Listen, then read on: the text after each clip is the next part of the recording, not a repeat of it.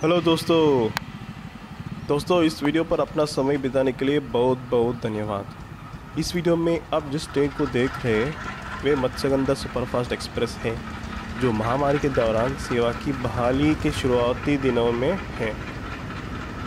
पहले कुछ उड़ानों में Ernakulam W D M three twins के साथ शुरू हो गए थे। इस सेवा के लिए लोको एक छः दो नौ तीन और एक चार शून्य पाँच पाँच का बार बार उपयोग किया गया था।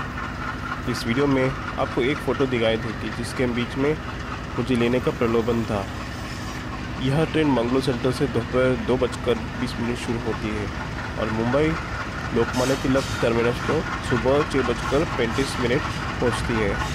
बहुत बहुत धन्यवाद दोस्तों। फिर मिलेंगे अगली वीडियो में।